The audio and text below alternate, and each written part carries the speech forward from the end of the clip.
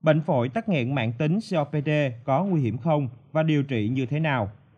Phổi tắc nghẽn mạng tính COPD là bệnh hô hấp mạng tính phổ biến trong cộng đồng, liên quan đến viêm phổi mạng tính và làm giảm khả năng hô hấp.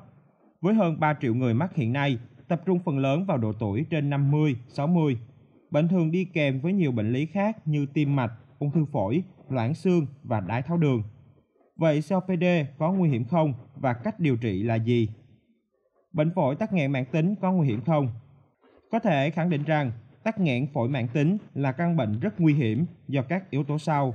COPD gây tắc nghẽn luồng khí trong đường hô hấp, khiến cho người bệnh khó thở, thở khò khe, ho dai dẳng, tăng tiết dịch nhầy, khát đờm có màu hoặc có máu, đau tức ngực, sốt nhẹ kèm cảm giác ớn lạnh, suy nhược cơ thể.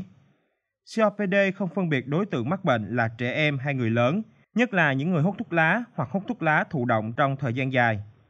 Tình trạng phổi tắc nghẽn là diễn tiến xấu theo thời gian và có nguy cơ gây tử vong hàng đầu nếu người bệnh gặp các biến chứng như nhiễm trùng hô hấp, tăng áp lực động mạch phổi, suy tim, cao huyết áp, ung thư phổi, tràn khí màng phổi, biến chứng thần kinh, vân vân. COPD thuộc một trong số những bệnh mãn tính mà thế giới chưa có vaccine phòng ngừa cũng như thuốc đặc trị. Khả năng cao là người bệnh phải sống chung với nó cả đời. Cách điều trị phổi tắc nghẽn mạng tính Không ít người thắc mắc rằng phổi tắc nghẽn mạng tính có chữa được không? Theo giải thích của thạc sĩ bác sĩ Nguyễn Ngọc Bách, khoa nội tổng hợp, Bệnh viện Đa khoa Quốc tế Vinmec Tham City cho biết, có nhiều phương pháp để đối phó với bệnh tắc nghẽn phổi mạng tính, nhưng không thể chữa khỏi hoàn toàn. Người bệnh có thể áp dụng theo các chỉ dẫn của bác sĩ với mục tiêu giảm thiểu triệu chứng, ngăn ngừa biến chứng, cải thiện gắng sức để kéo dài thời gian sống.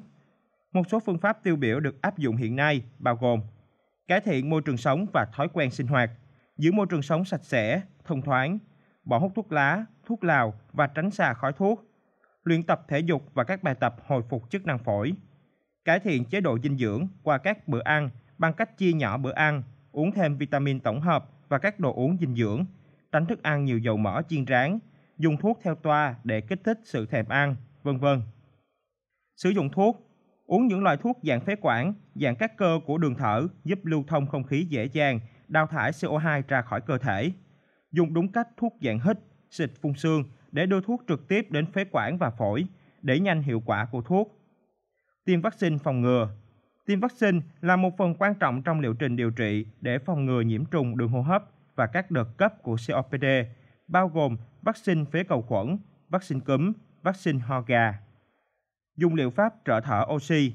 Với những người bị COPD nặng hoặc tiến triển có nồng độ oxy trong máu thấp, nên bổ sung oxy liên tục bằng thiết bị trợ thở oxy tại nhà.